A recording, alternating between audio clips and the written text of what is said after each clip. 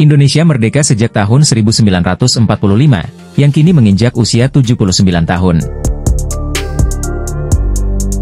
Namun nyatanya, beberapa kota di tanah air berusia jauh lebih tua, bahkan mencapai lebih dari seribu tahun.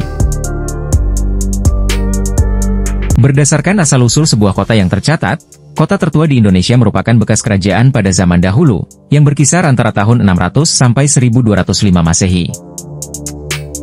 Tak heran jika beberapa kota dijuluki sebagai kota tertua di Indonesia.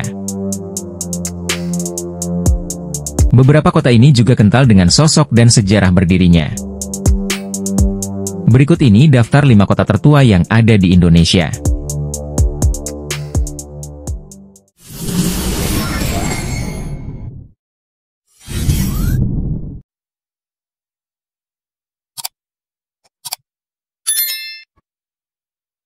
Palembang, Sumatera Selatan. Kota tertua di Indonesia adalah Palembang. Palembang adalah ibu kota Sumatera Selatan. Sebagai kota tertua di Indonesia, Palembang telah berusia 1340 tahun dan berdiri sejak Juni 682 Masehi. Bukti Palembang sebagai kota tertua di Indonesia terdapat pada prasasti Kedukan Bukit bertanggal 16 Juni 682 Masehi yang ditemukan di Bukit Siguntang. Selain itu, Palembang juga dianggap sebagai salah satu pusat dari kerajaan Sriwijaya yang sudah ada sejak abad ke-7. Dalam bahasa Melayu, kata pa atau p artinya sebagai kata tunjuk suatu tempat. Sedangkan kata lembang atau lembeng artinya genangan air. Hal itu lantaran wilayah Palembang dulu dikelilingi banyak air. Saat ini, Palembang terkenal dengan jembatan Ampera yang indah. Salatiga, Jawa Tengah. Salatiga adalah kota tertua kedua di Indonesia. Kota Salatiga berada di kaki Gunung Merbabu, Jawa Tengah. Kota Salatiga berdiri sejak 24 Juli 750 Masehi. Sampai saat ini sudah mencapai usia 1272 tahun.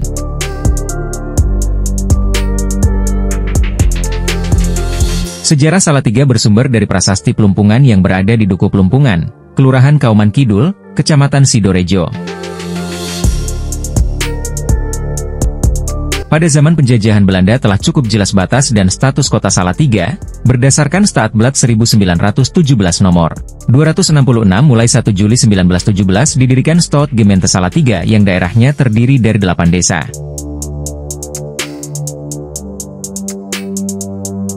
Pada saat itu, Salatiga dijuluki sebagai kota terindah di Jawa Tengah karena dukungan faktor geografis, udara sejuk dan letaknya sangat strategis. Kediri, Jawa Timur Kota Kediri, Jawa Timur adalah kota tertua ketiga di Indonesia. Kota Kediri berdiri pada 27 Juli 879 Masehi berdasarkan dalam prasasti Kuak. Sehingga, jika dihitung saat ini umur kota Kediri sudah mencapai 1143 tahun. Selain itu, dari bukti peninggalan sejarah, kota Kediri merupakan lokasi kerajaan Kediri zaman dulu. Magelang, Jawa Tengah Kota Magelang adalah kota tertua keempat di Indonesia. Kota ini telah ada sejak ribuan tahun yang lalu dan terkenal dengan Candi Borobudur yang megah.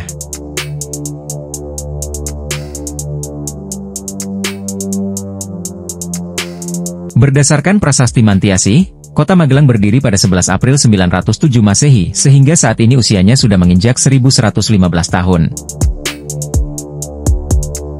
Pada awal berdiri, Kota Magelang merupakan bagian dari Kerajaan Mataram kuno. Saat ini, kota Magelang dikenal sebagai kota sejuta bunga lantaran ada berbagai macam bunga di kota ini. Banda Aceh, Aceh Banda Aceh adalah kota tertua kelima di Indonesia. Banda Aceh merupakan ibu kota Provinsi Nanggro Aceh Darussalam. Kota Banda Aceh dibangun oleh Sultan Alaidin Johansyah pada 22 April 1205 Masehi atau pada 1 Ramadan 601 Hijriah. Sehingga, saat ini usia kota Banda Aceh adalah 817 tahun. Bukti pembangunan kota Banda Aceh tersebut tercantum dalam naskah pembangunan ibu kota baru oleh Sultan. Dulu, kota Banda Aceh merupakan pusat kerajaan Aceh. Semoga informasi di video ini bisa berguna dan mampu menambah wawasan. Nantikan video menarik berikutnya.